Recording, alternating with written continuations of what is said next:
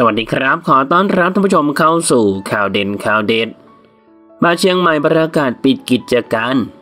จากสถานการณ์การแพร่ระบาดของเชื้อไวรัสโควิด -19 ทำให้กิจการร้านค้าร้านอาหารผับบาร์ต่างก็ได้รับผลกระทบไปตามๆกัน รวมถึงผับดังแห่งหนึ่งในเชียงใหม่ที่ออกมาประกาศปิดกิจการอย่างไม่มีกำหนด โดยทางร้านได้ออกมาโพสต์พาดเดือดถึงการบริหารที่ล้มเหลวของรัฐบาลว่า ประกาศปิดกิจการอย่างไม่มีกำหนด เราและหุ้นส่วนในร้านทุกคนมีเป้าหมายเดียวกัน คืออยากทำให้หอมฉุยบาร์เป็นร้านที่มีดนตรีสดคุณภาพดีๆ ให้ลูกค้าฟังแบบที่ตัวเองอยากฟัง และได้ออกแบบตกแต่งร้านแบบที่อยากทำซึ่งเราคิดว่าเราได้ทำทุกๆ อย่างที่อยากทำแล้ว แต่ก็เพราะการบริหารจัดการที่ล้มเหลวของประเทศเนี่ย ซึ่งอย่างที่ทุกคนเห็นนั่นแหละ สถานการณ์มันไม่แน่นอน วางแผนอะไรไม่ได้เลย เราเลยขอพักก่อนพวกเราเหนื่อยมากๆ และครับแค้นใจที่ไม่เคยได้รับการเยียวยาอะไรเลยเอาไว้พวกนี้ออกไปก่อนค่อยว่ากัน คิดถึงทุกๆคนมากๆ ดีใจที่ได้ร่วมงานกับน้องๆพนักงานและนักดนตรีที่ร้านทุกๆ คนมากๆเลิฟๆถึงหอมฉุยบาจะไม่อยู่แต่หอมฉุยข้าวมันไก่ยังอย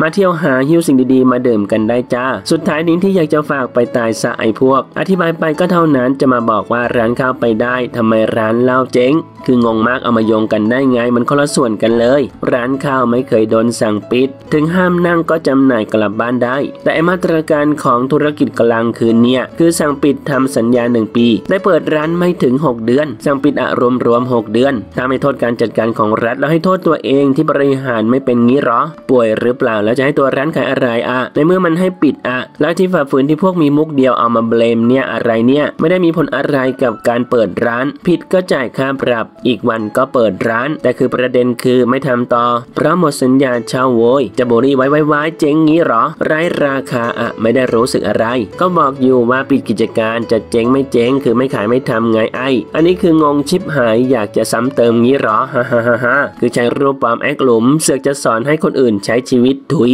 เออ แล้วก็ไม่ได้โดนสั่งปิดร้านแดกเล่าตอนเคลียร์ร้านในร้านตัวเองนะ เพื่อจะเบลมผิดๆมันดูโง่พักบ้าง พวกมึงอะล้างหน้าล้างตาพักจิตใจขอบคุณทุกคนมากๆครับท่านผู้ชมนะครับมีความคิดเห็นอย่างไรกับเรื่องนี้ลองแสดงความคิดเห็นกันเข้ามาดูนะครับ